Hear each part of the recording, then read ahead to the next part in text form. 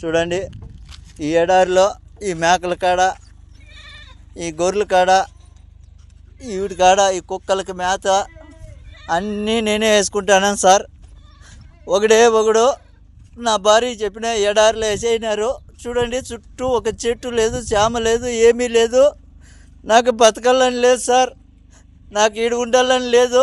నేను ఎంత చెప్పినా మా భార్య కూడా వినిపించుకోవట్లేదు.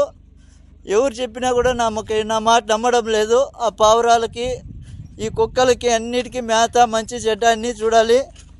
ఒక్కొక్క రోజు వాళ్ళు వచ్చినారంటే నైట్ మూడైనా నిద్ర ఉండదు నాలుగైనా నిద్ర ఉండదు సార్. కోళ్ళకి ఇక్కడ బాతులకి ఇట్లా కోళ్ళకి అన్నిటికీ మేత చూసుకోవాలి. చెట్లు వచ్చేసి రెండు కిలోమీటర్లు ఉన్నాయి సార్. ఆవిడికి నీళ్ళు ఎత్తుకుపోయి పోయేలా క్యాన్లతో నీళ్ళు మోసుకొని పోవాలా. ఈ జనరేటర్లు ఒకటంటే ఒకటి పని చేయడం లేదు వాళ్ళకి చెప్తే వాళ్ళు కనీసం పట్టించుకోవడం లేదు మొన్న మోటార్ చెడిపోతే మోటార్ కూడా కనీసము రిపేర్ చేయించుకొస్తానని ఎత్తుకుపోయినాడు. ఇంతవరకు తేలేదు సార్. నీళ్ళు క్యాన్లు మోస్తానన్న రోజు ఒక మోటార్ పని చేస్తుంది. చెప్పినా కూడా వాళ్ళు చెవుల్లోకి వేసుకోవడం లేదు. చూడండి ఈ పావురాలు ఈ బాతులు వీటికన్నిటికీ నీళ్ళు నీళ్ళు పొద్దున్నుంచి మోయాలా. అన్నీ చేయాలి సార్. నేను ఒకటే నా వల్ల కావడం లేదు. ఎండకి సుస్థి అయిపోతుంది. ఇక్కడ పట్టించుకునే వాళ్ళు లేరు. ఇప్పుడు ఆయన వచ్చి మూడు రోజులు అవుతుంది సార్. కనీసం నువ్వు తిన్నావా చచ్చినావా అని ఫోన్ కూడా చేయడం లేదు.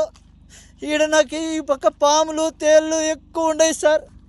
నేను చచ్చిపోయినా కూడా అడిగేవాడు లేదు సార్ ఈడ. నా పరిస్థితి ఇట్లుండదు. నాకు దయచేసి ఎవరైనా సాయం చేయండి సార్. ఈ ఎడారి నుంచి నన్ను బయట వేసేయండి ఇంటికి వచ్చేస్తాను. ఈడున్నానంటే చచ్చిపోతాను సార్. ఇంక రెండు రోజులు ఉంటే చచ్చిపోతాను. నా వల్ల కావడం లేదు సార్. చూడండి చుట్టుకారము ఒక చెట్టు లేదు చామ లేదు ఒక మనిషి మాట్లాడేవాడు కూడా లేడు సార్ ఈడ. నాకు కనీసం మాట్లాడిచ్చేవాడు లేడు. తిన్నావా చచ్చినావా ఏంపా ఎట్లుండదు అని అడిగేవాడు లేదు సార్ నాకు ఈడ. నాకు నా బిడ్డలు గుర్తొస్తున్నారు నేను బతకలేను సార్ ఈడ. దయచేసి ఎవరైనా నన్ను ఇట్లా సాయం చేయండి. ఈ కోవిడ్ నుంచి నన్ను బయటపడేయండి సార్. ఏం చెప్పినా కూడా ఏజెంట్ కూడా కానీ నా మాట వినడం లేదు సార్. డబ్బులు కట్టు డబ్బులు కట్టు అంటున్నారు. నా కాడ అంత డబ్బులు లేదు. ఏం చేసేది సార్ నేను? కూలి చేసుకుంటేనే పని జరుగుతుంది. ఏదో ఇక్కడ నాకు చెప్పిండే పని వచ్చేసి వేరే ఇక్కడ చేపిస్తుండే పనులు వేరే. ఎవరికి అడిగినా నాకు పట్టించుకోవడం లేదు సార్ నా వల్ల కావడం లేదు. ఎవరైనా దయచేసి నన్నట్టు అటు గడ్డకేయండి సార్ మీ కాళ్ళు పట్టుకుంటాను. లేదంటే ఇంకొక రోజు రెండు రోజులు చూసి నేను ఆత్మహత్య చేసుకోవాల్సిందే సార్. నా వల్ల కావడం లేదు. మీకు ఎవరికన్నా కానీ దయ ఉంటే నా పైన కొద్దిగా దయ చూపించండి. ఎందుకంటే ఇంటికి వచ్చి కూలో నాలో చేసుకునైనా బతుకుతా కానీ ఇక్కడికైతే బతకలేను. నా వల్ల కావడం లేదు సార్. పద్దెనిమిది నుంచి సాయంత్రం దాకా ఒకటే పని ఉంటుంది. నా వల్ల కావడం లేదు.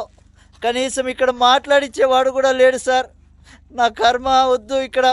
నేను ఎంత బాధపడతానంటే అంత బాధపడతాను. మా భార్యకి ఫోన్ చేసి చెప్తే నాకా డబ్బు లేదబ్బా నేనేం చేసేది? నేను ఎక్కడి నుంచి తీసుకురావాలి?